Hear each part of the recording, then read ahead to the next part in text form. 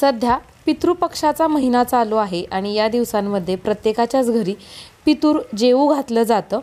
तर आमच्या घरामध्ये जेव्हा आम्ही पितूर जेवू घालतो त्यावेळेस कोणते कोणते पदार्थ केले जातात ते मी तुमच्याबरोबर शेअर करणार आहे. प्रत्येकाच्या घरानुसार गावानुसार किंवाच समाजानुसार याच्यातील काही पदार्थ वेगळे असतील. एखादा पदार्थ ॲडिशनल असेल किंवा मी जो पदार्थ केलेला आहे त्याच्यापैकी एखादा पदार्थ कमी असेल. तर आमच्या इथे आम्ही कशा पद्धतीचा स्वयंपाक करतो ते मी तुमच्याबरोबर शेअर करणार आहे. चला तर मग रेसिपीला सुरुवात करूयात.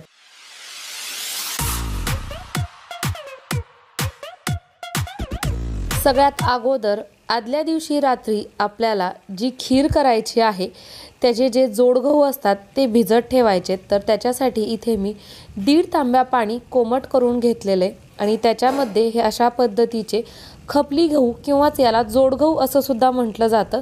तर ते व्यवस्थित नीट करून नंतर या पाण्यामध्ये टाकलेले आहेत. आता हे रात्रभर आपण असेच भिजत घालूयात. पुरणाचा स्वयंपाक करत असताना सगळ्यात अगोदर आपण डाळ कुकरला शिजण्यासाठी लावतो. तर त्याच्यासाठी इथे मी एक कप हरभऱ्याची डाळ घेतलेली आहे. आणि ही डाळ अगोदर आपण स्वच्छ धुवून घेऊयात. डाळ स्वच्छ धुवून घेतलेली आहे. आता याच्यातील पाणी मी निथळून घेते. आणि ही डाळ आता मी एका कुकरमध्ये काढून घेत आहे.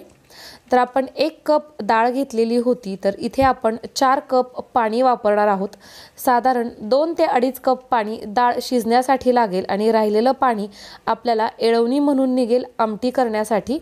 तर इथे मी चार कप पाणी टाकून घेतलेले. अर्धा चमचा हळद थोडंसं मीठ आणि अर्धा चमचा तेल.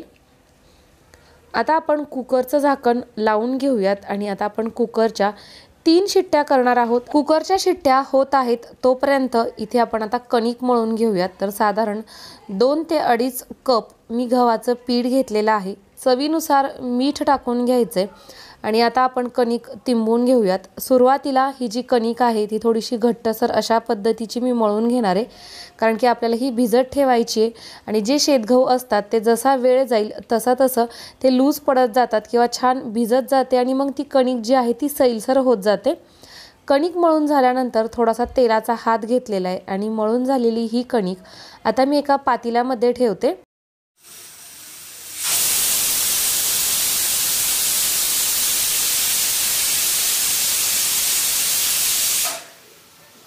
तीन शिट्ट्या झाल्यानंतर कुकरमधली जी वाफ होती ती मी पूर्णपणे जाऊ दिलेली आहे. आणि इथं जी डाळ आहे ती आपली छान अशी शिजली गेलेली आहे. तर आता मी डाळ आणि जे खालचं एळवणी आहे ते वेगळं करून घेतलेलं आहे. ही डाळ आपण थोड्या वेळासाठी अशीच बाजूला ठेवूयात आणि खाली जे एळवणी तयार झालेले त्याची आता आपल्याला कटाची आमटी करून घ्यायची आहे. तर आमटीसाठी सगळ्यात अगोदर करणार आहोत ते आपण त्याचं वाटण. तर वाटण करण्यासाठी इथे मी दोन चमचे हरभऱ्याची डाळ आणि दोन चमचे तांदूळ छान खमंग असे भाजून घेतलेले तेल टाकलेलं नाही तेल नाही टाकलं तरीही चालतं हे भाजताना. आणि आता दोन्हीही एकत्रित करून मिक्सरला एकदम बारीकसर अशी त्याची पूड तयार करून घ्यायची आहे. डाळ आणि तांदूळ वाटून घेतल्यानंतर हे दोन्हीही मिळून जास्त प्रमाण तयार होतं. आपल्याला तेवढी आवश्यकता नाही पण खूप कमी प्रमाणात जर हे घेतलं तर मिक्सरला बारीक होत नाही. त्याच्यामुळे मी दोन दोन चमचेचं प्रमाण घेतलेलं आहे. डाळ आणि तांदूळ छान असं वाटून तयार झालेलं आहे. मिक्सरच्या त्याच भांड्यामध्ये आता मी घेतलेलं आहे अर्धी वाटी खोबरं जे छान खमंग आणि तेल टाकून भाजून घेतलेले. आणि खोबऱ्यासोबतच आपण वाटून घेणार आहोत कांदा. तर इथे कांदासुद्धा मी अर्धी वाटी घेतलेला आहे. आणि तोसुद्धा तेल टाकून छान लालसर असा भाजून घेतलेला आहे. आवश्यकतेनुसार पाणी टाकायचं आहे आणि याचीसुद्धा एक छान अशी पेस्ट तयार करून घ्यायची आहे. आता आपण कटाची आमटी तयार करायला घेत आहोत. त्यासाठी पॅनमध्ये तेल टाकून घेऊयात. तेलाचं प्रमाण तुम्ही तुमच्या इच्छेनुसार कमी किंवा जास्त ठेवू शकता. मी तीन चमचे तेल टाकून घेतलेले. तेल छान गरम झाल्यानंतर पाव चमचा जिरं. या फोडणीमध्ये आपण काही खडे मसालेसुद्धा टाकणार आहोत ज्यामध्ये चार काळ्या मिऱ्या चार लवंगा थोडासा दालचिनीचा तुकडा त्याचबरोबर एक मसाला विलायची ज्याचं मी तोंड मोकळं करून घेतलेलं. आहे तर हे जे खडे मसाले आहेत ते तेलामध्ये छान असे परतले गेले की इथे मी टाकलेला आहे कढीपत्ता. त्याचबरोबर जे आपण खोबऱ्याचं आणि कांद्याचं एकदम बारीकसर असं वाटण तयार करून घेतलेलं होतं ते सुद्धा आता या तेलामध्ये टाकून घेते. कांदा आणि खोबरं छान असं भाजून घेतल्यामुळे या फोडणीमध्ये ते तळसण्यासाठी खूप जास्त वेळ लागत नाही. इथे मी टाकून घेत आहे अद्रक आणि लसणाची पेस्ट साधारण एक मोठा चमचा भरून. अद्रक आणि लसणाचा जो कच्चेपणा आहे तो आता आपण दूर करून घेणार आहोत. कटाची आमटी करताना जर आपण याच फोडणीमध्ये कोथिंबीर टाकली तर त्याचा जो फ्लेवर आहे तो खूप सुंदर असा लागतो. हवं असेल तर तुम्ही आमटी तयार झाल्यानंतरसुद्धा कोथिंबीर वापरू शकता पण फोडणीत कोथिंबीर टाकल्याने त्याची चव खूप अप्रतिम अशी लागते. मसाल्यांमध्ये अर्धा चमचा हळद एक मोठा चमचा भरून बेडगी मिरची पावडर इथे मी मसाल्याच्या डब्यातील जो स्पून होता तो वापरलेला आहे तो एकदम छोटासा आहे. तर त्याच्यामुळे मी डबल मसाले टाकलेले आहेत. काळं तिखट टाकत आहे. एक मोठा चमचा भरून. एक चमचा धणेपूड आणि एक मोठा चमचा भरून गरम मसाला. तर आता हे सगळे जे मसाले आहेत ते सुद्धा आपण या तेलामध्ये किंवा या फोडणीमध्ये छान असे परतून घेणार आहोत. जोपर्यंत या मसाल्याला छान असं तेल सुटत नाही तोपर्यंत तर इथे तुम्ही बघू शकता मसाल्याला छान तेल सुटायला सुरुवात झालेली आहे.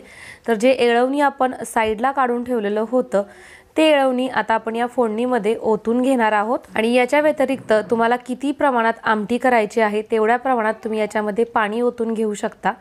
ज्या मिक्सरच्या भांड्यामध्ये मी वाटण तयार केलेलं होतं तेच भांडं विसळून याच्यामध्ये मी पाणी टाकून घेतलेलं आहे.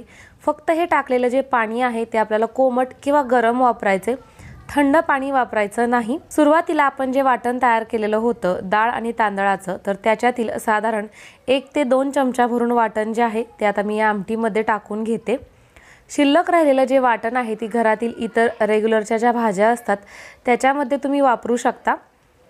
त्याचबरोबर चवीनुसार मीठ आणि हे जे सगळं मिश्रण आहे किंवा ही जी आपली आमटी आहे ती आता आपण व्यवस्थितपणे ढवळून घेऊयात आणि याला छान अशी उकळी येऊ द्यायची उकळी फुटल्यानंतर सुद्धा साधारण एक दहा ते पंधरा मिनिट एकदम लो फ्लेमवरती ही आमटी ठेवायची.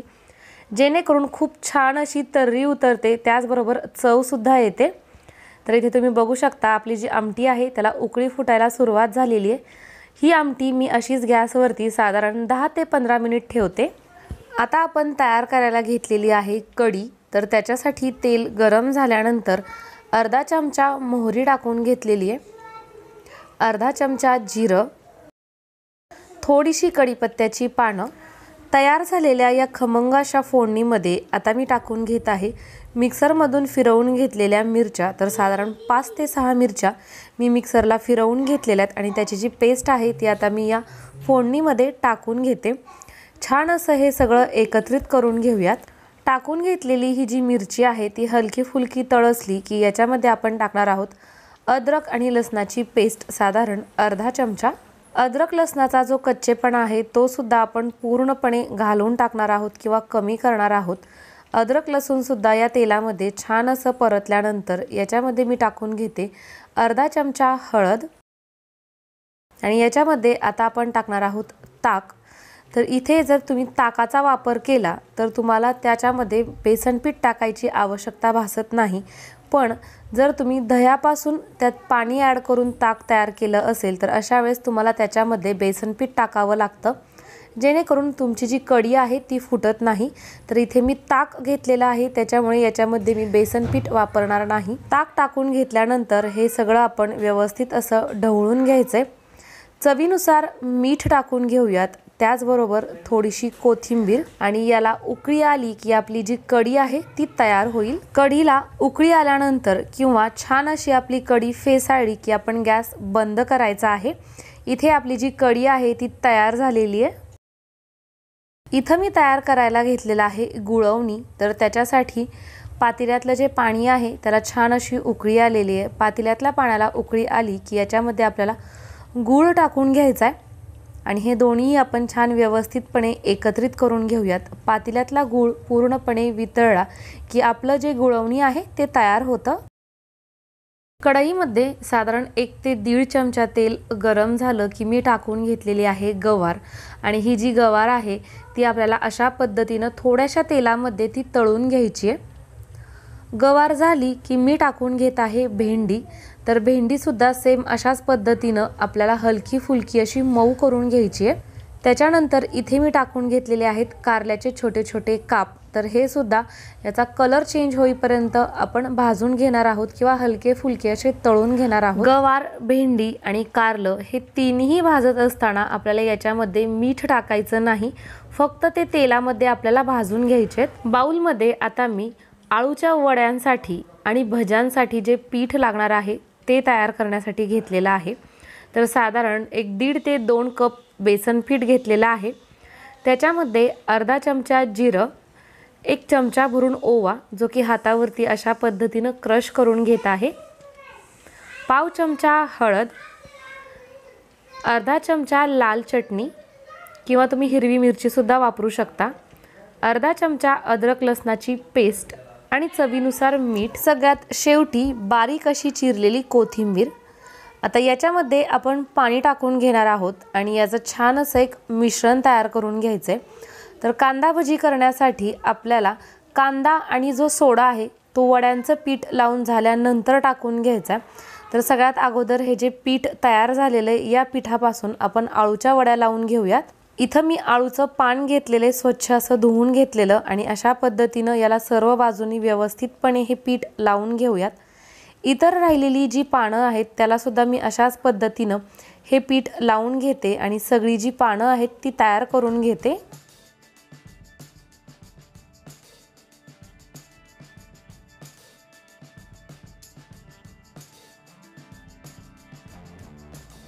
मला जेवढ्या आळूच्या वड्या करायच्या होत्या तेवढ्या पानांना मी पीठ लावून घेतलेलं आहे आणि आपलं एवढं पीठ आता शिल्लक राहिलेलं आहे. तर सगळ्यात अगोदर जी आपण पानं लावून घेतलेली आहेत ती तळून घेऊयात. तर एका वेळेस कढईमध्ये जेवढी पानं किंवा जेवढ्या वड्या बसतील तेवढ्या वड्या मी टाकून घेते आणि मीडियम फ्लेमवरती छान अशा ह्या तळून घ्यायच्या आहेत. तर इथं अशा पद्धतीनं आपल्या ज्या आळूच्या वड्या आहेत त्या तयार करून झालेल्यात जे शिल्लक राहिलेलं पीठ होतं त्याच्यामध्ये मी कांदा टाकून घेत आहे. त्याचबरोबर थोडासा सोडा साधारण पाव चमचा खाण्याचा सोडा आपण याच्यामध्ये टाकून घेऊयात. व्यवस्थित असं हे एकजीव करून घ्यायचं आहे आणि तयार झालेल्या पिठाचे आता आपण भजी सोडायला घेऊयात. सेम तशाच पद्धतीनं एका वेळेस जेवढी भजी बसतील तेवढी भजी मी या कढईमध्ये सोडून घेते. आणि मीडियम फ्लेमवरती ही भजी आपण छान अशी तळून घेऊया. तर इथं तुम्ही बघू शकता आपल्या भज्यांची जी पहिली बॅच आहे ती तळून तयार झालेली आहे. ही मी एका साईडला काढून घेते. राहिलेल्या पिठाचे सुद्धा सेम अशाच पद्धतीनं भजे करून घेतलेलेत. आणि आता सगळ्यात शेवटी त्या तेलामध्ये आपण तळून घेत आहोत तळण. तर कुरडई टाकून घेतलेली आहे. आणि तीसुद्धा मी तळून घेते. आता इथे आपण तयार करायला घेत आहोत पाटवडी किंवाच याला थापीवडी असं सुद्धा म्हणतात. तर कढईमधलं जे तेल होतं ते गरम झाल्यानंतर त्याच्यामध्ये मी अर्धा चमचा मोहरी टाकून घेतलेली आहे. अर्धा चमचा जिरं थोडीशी कढीपत्त्याची पानं.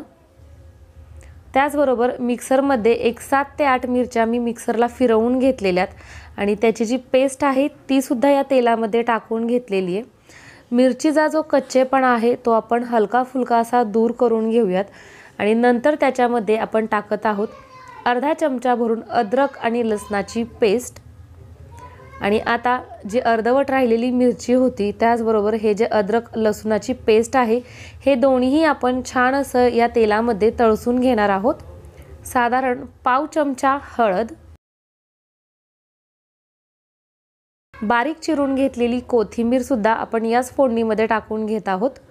कोथिंबीरसुद्धा या तेलामध्ये छान अशी परतली की यामध्ये आता आपण पाणी टाकणार आहोत. तर इथे मी एक कप बेसन पीठ घेतलेलं आहे. तर त्याच्यासाठी मी एक कप पाणी वापरणार आहे. तर हे जे एक कप भरून पाणी आहे ते आपण या फोडणीमध्ये टाकून घेऊयात. आणि पाण्याला उकळी येऊ द्यायची आहे. त्याच्यापूर्वी याच्यामध्ये आपण चवीनुसार मीठ टाकून घेऊयात. पाण्याला उकळी आली की याच्यामध्ये मी एक कप भरून जे बेसन पीठ घेतलेलं होतं ते टाकून घेते आणि व्यवस्थित असं हे आपल्याला एकजीव करून घ्यायचं आहे याच्यामध्ये गाठी होता कामा नाही त्याच्यामुळे हे आपल्याला फास्ट म्हणजे एकदम स्पीडनी फिरवत राहायचं आहे आता हे सगळं मी एकत्रित करून घेते आणि झाकून साधारण पाच ते सहा मिनिटांसाठी आपल्याला हे ठेवून द्यायचं आहे पाच ते सहा मिनिट झालेले आहेत आणि आता आपण झाकण उघडून बघूयात. तर हे जे पीठ होतं ते सुरुवातीला तुम्ही जर पाहिलं असेल तर थोडंसं चिकटसर अशा पद्धतीचं होतं. आणि आता याचा छान असा गोळा तयार झालेला आहे. म्हणजेच आपलं जे पीठ आहे ते छान असं वाफललं गेलेलं आहे. चला तर आता याच्या ज्या वड्या आहेत त्या आपण थापून घेऊयात. तर वड्या थापून घेण्यासाठी ताटाला मी अगोदरच तेल लावून ठेवलेलं होतं आणि त्या ताटावरती हे जे तयार झालेलं मिश्रण आहे ते ठेवून घेऊयात. आणि छान असं हे थापून घ्यायचे. छान असं म्हणण्यापेक्षा हाताला हे मस्तपैकी भासतं तर त्याच्यामुळे मी पाण्याचा हात घेतलेला आहे आणि अशा पद्धतीनं हे थापून घ्यायचं आहे थंड झाल्यानंतर हे थापलं जात नाही. त्याच्यामुळे गरम आहे तोपर्यंतच थापावं लागतं. याच्यावरती मी टाकून घेतलेलं आहे खिसून घेतलेलं सुक्कं खोबरं. ते व्यवस्थितपणे याला दाबून घेऊयात. म्हणजे छान असं त्याच्यावरती ते बसतं. हे आपल्याला थंड करून घ्यायचं आणि थंड केल्यानंतर याचे आपण काप करून घेणार आहोत. तर इथं तुम्ही बघू शकता आपल्या ज्या वड्या आहेत त्या अशा पद्धतीनं तयार झालेल्या आहेत. याच्यानंतर आता आपण पुरण परतायला घेणार आहोत. त्याच्यासाठी जी डाळ आपण चाळणीमध्ये ठेवलेली होती निथळण्यासाठी तर ती मी कढईमध्ये ट्रान्सफर करून घेतलेली आहे ज्याच्यामध्ये मी या पुरणाला चटका देणार आहे त्याच्यामध्ये. तर सगळ्यात अगोदर ही जी डाळ आहे ती आपल्याला पळीनं किंवा एखाद्या फुलपात्रानं मॅश करून घ्यायचे जेणेकरून ती पटकन त्याला जो चटका आहे तो बसतो. तर तुम्ही बघू शकता मी हलकी फुलकी ती मॅश केलेली आहे. तर जेवढी आपण डाळ घेतलेली असते तेवढाच आपल्याला गूळ पण घ्यायचा असतो. पण इथे मी एका कपासाठी पाऊन कप गूळ घेतलेला आहे म्हणजे पाव कप कमी गूळ वापरलेला आहे. आमच्या घरात अशाच पद्धतीच्या पोळ्या आवडतात. कढई मी गॅसवरती ठेवलेली आहे आणि गॅसचा फ्लेम जो आहे तो मीडियम ठेवायचा आहे. तुम्ही बघू शकता आपलं जे पुरण आहे ते थोडंसं पातळसर अशा पद्धतीचं झालेलं आहे. तर एक पाच ते सहा मिनटं झाल्यानंतर याच्यामध्ये मी टाकून घेतलेलं आहे साजूक तूप एक मोठा चमचा भरून. याच्यामुळे आपल्या ज्या पोळ्या आहेत त्या खूपच छान आणि खुसखुशीत होतात. तूप टाकल्यानंतर परत एकदा आता आपल्याला हे हलवत राहायचं आहे आणि जसा जसा वेळ जाईल तसं तसं तुम्ही पाहू शकता हे जे पूर्ण आहे ते परत घट्टसर असं व्हायला सुरुवात झालेली आहे. बऱ्याचशा जणींना कळत नाही की पुरण झालेलं आहे हे कसं ओळखावं? अशा वेळेस जी पळी किंवा जे काही तुम्ही उलतनं घेतलेलं आहे तर असं मधोमध उभं करायचं. जर ते कळलं नाही तर असं समजायचं की आपलं जे पुरण आहे ते तयार झालेलं आहे. तयार झालेलं हे जे पुरण आहे ते गरम आहे तोपर्यंतच आपल्याला वाटायला घ्यायचं आहे जेणेकरून ते पटकन वाटलं जातं. तर अशा पद्धतीनं चाळणीचा वापर करून हे जे पुरण आहे ते मी वाटून घेत आहे. आपलं सगळं पुरण जे आहे ते वाटून तयार झालेलं आहे. तर याच्यावरती सगळ्यात शेवटी आता मी टाकून घेणार आहे जायफळ. तर साधारण पाव तुकडा जायफळाचा मी खिसून टाकणार आहे. याच्याऐवजी तुम्ही विलायचीची पूड त्याचबरोबर बडीशेप आणि सुंठेची पूडसुद्धा वापरू शकता.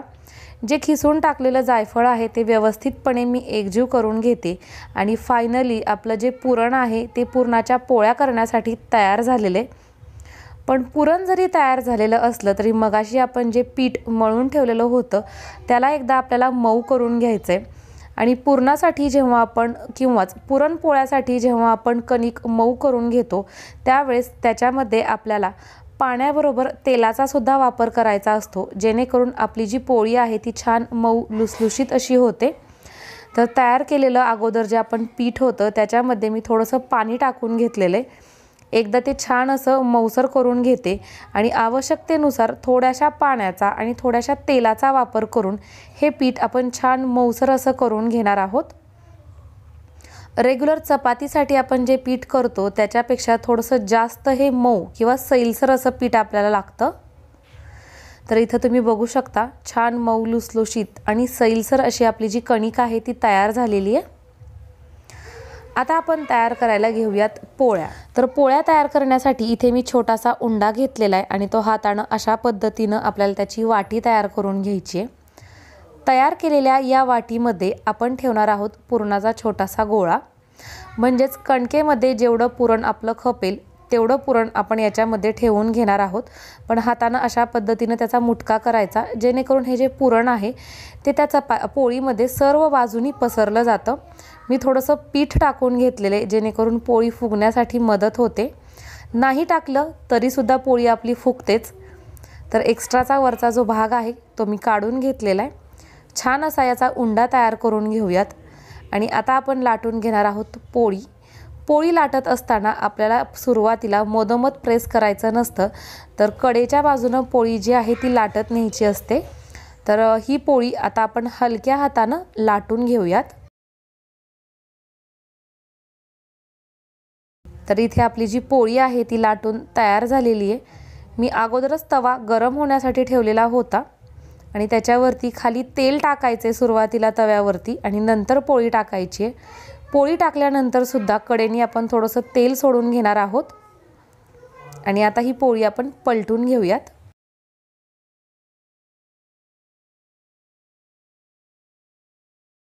दोन्हीही बाजूनं छान तेल लावून घ्यायचंय आणि आपली जी पोळी आहे ती आपण भाजून घेणार आहोत.